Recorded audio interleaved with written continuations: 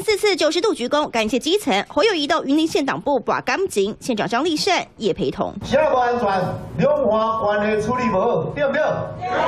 我出来三我希望把两岸稳定了，不要用意识形态治国。大谈国家安全，侯友谊展现选总统格局，但致辞时麦克风频频出问题，有点小尴尬。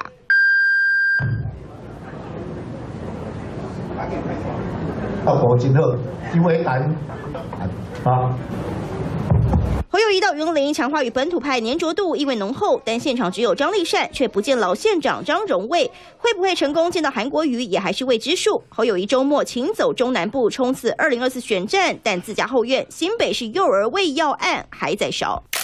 尽管侯友谊十号晚间特地在脸书 Po 文，白天跑完行程，晚上直奔胃药案专案办公室，更强调十一号晚上还有第二场家长座谈。但不仅副总赖清德喊话建议成立医疗小组来赢自家人，更大白话：安内才能攘外，是一个基本良心，也是一个市政市长该负的责任。一两个礼拜的六日不要出门了，就专心在新北市处理这个事，请检方快速厘清。因为药物对对来，新北市政府就很积极的配合他们协助。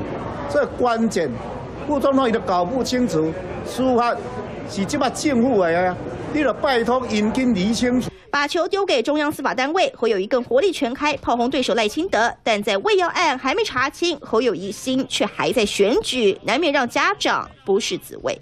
森林凯军、陈海中，S N G 小组运报道。